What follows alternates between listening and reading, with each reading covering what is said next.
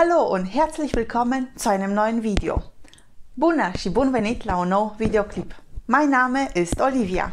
Numele meu este Olivia. Sehr viele von euch haben sich mehr Lieder gewünscht. Also sprechen wir heute über ein neues Lied. Foarte mulți dintre voi și-au dorit să vorbim despre mai multe cântece, așa că astăzi vorbim despre un cântec nou. Sehr viele von euch haben sich das Lied Atemlos von Helene Fischer gewünscht. Foarte mulți dintre voi și-au dorit cântecul Atemlos de Helene Fischer.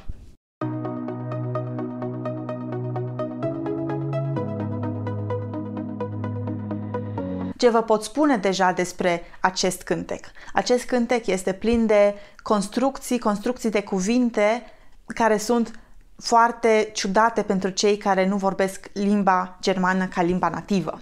Adică este vorba de câteva expresii sau modalități de a înșirui cuvintele unul după celălalt și este un mod mai nefiresc, pentru că în română am face pur și simplu altfel. Sau și în engleză am avea pur și simplu altă ordine a cuvintelor sau ne-am exprima altfel. Deci merită în orice caz văzut. Also werden wir über dieses Lied sprechen. Deci vom vorbi despre acest cântec. Începem întâi cu titlul Atemlos. Ce înseamnă atemlos? Atem este respirația, iar los este un sufix. Poate fi adăugat substantivelor, adjectivelor și înseamnă în principiu fără, adică fără cuvântul de dinainte. Atemlos, fără suflare.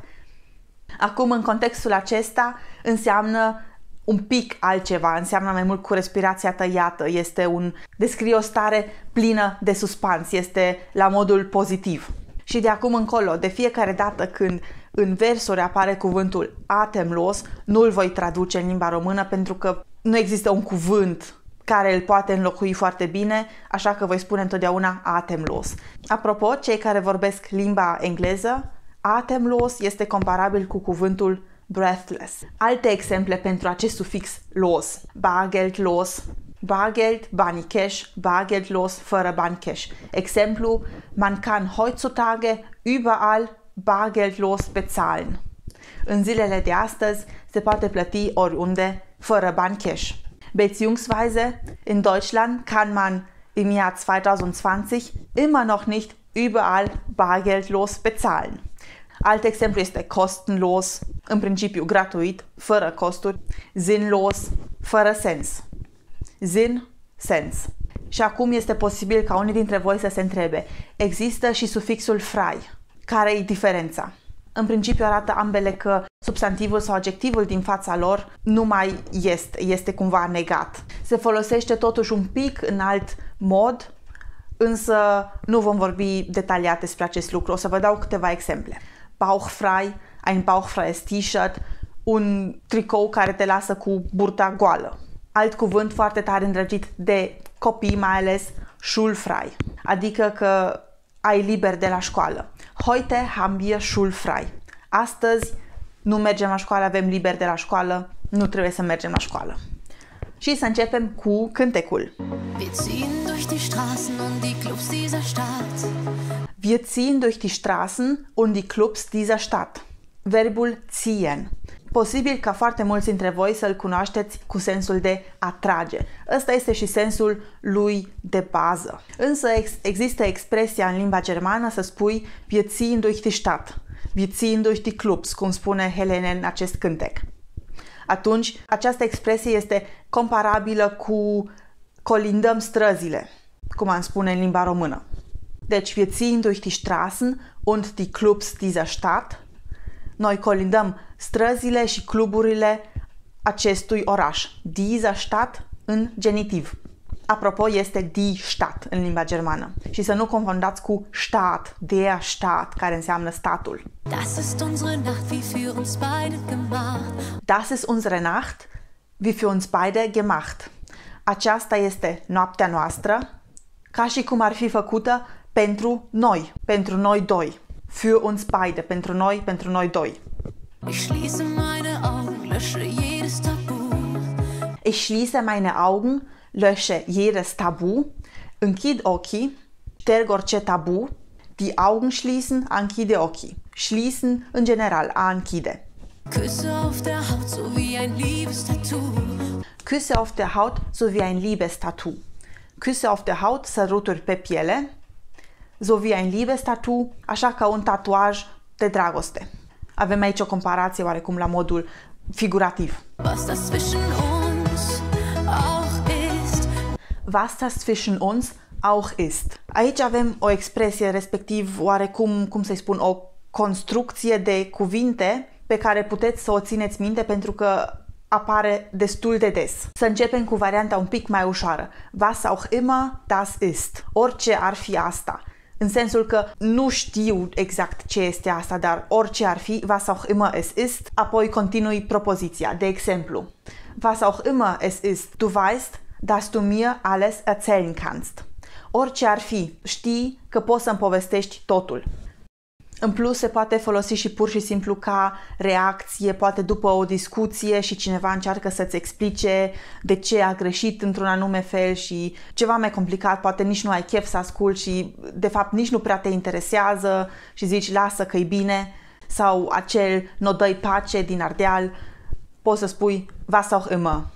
Deci, ca răspuns, respectiv, într-o astfel de situație poți să spui was auch immer. Deci, orice ar fi, nu contează ce ei nu prea înțeleg, dar lasă. Comparabil cu acel whatever din engleză. Revenim la cântec.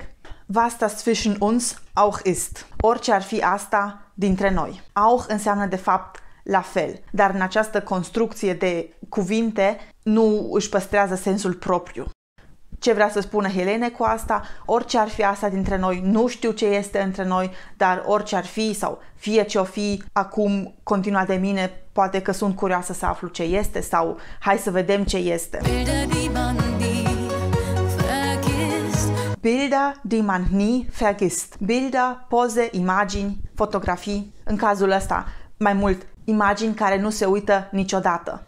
Acest man, scris cu literă mică și cu un singur N, nu înseamnă bărbat, ca man, cu M mare și cu doi de N, și exprimă foarte des ceva la modul general. Bilder, die man nie vergisst, imagini care nu se uită niciodată sau imagini pe care nu le poți uita niciodată. Acest tu care iarăși este la modul general vorbit și nu tu ca persoană, ci tu ca o grupă mai mare de persoane. Iar aici Bilder am spus că este imagini, dar foarte probabil că se referă mai mult la amintiri, deci nu imagini ca o poză, dar imagini în sensul de amintiri legate de experiențe trăite împreună.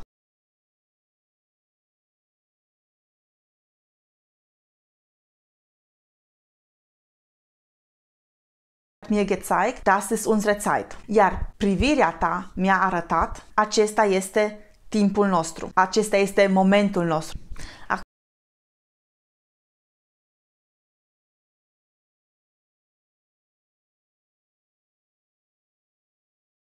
Durch die Nacht, atemlos, am spus că nu o să-l mai traduc, atemlos prin noapte, bis ein neuer Tag erwacht. Erwachen înseamnă a se trezi. Acum, atenție! Posibil să cunoașteți cuvântul aufwachen. Care este diferența? Și aufwachen înseamnă a se trezi.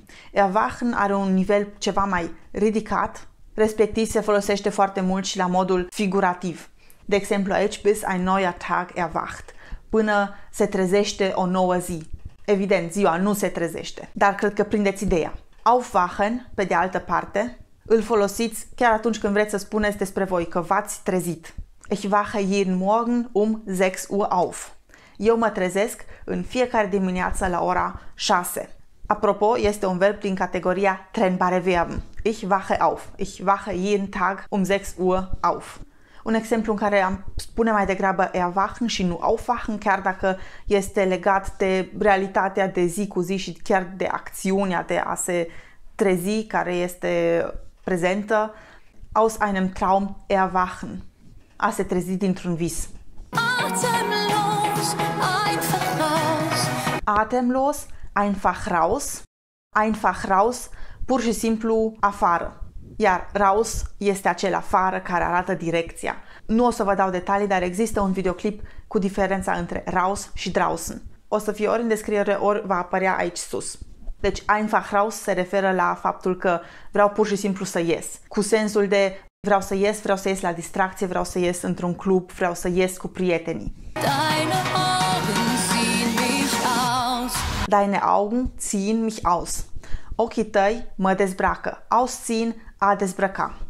Iar a se dezbrăca, dacă este vorba că te dezbraci pe tine însăți, sich ausziehen. Un verb reflexiv. În cazul acesta, acțiunea este făcută de către ochi. Ochii tăi mă dezbracă pe mine. Deine Augen ziehen mich în acuzativ aus. Ausziehen.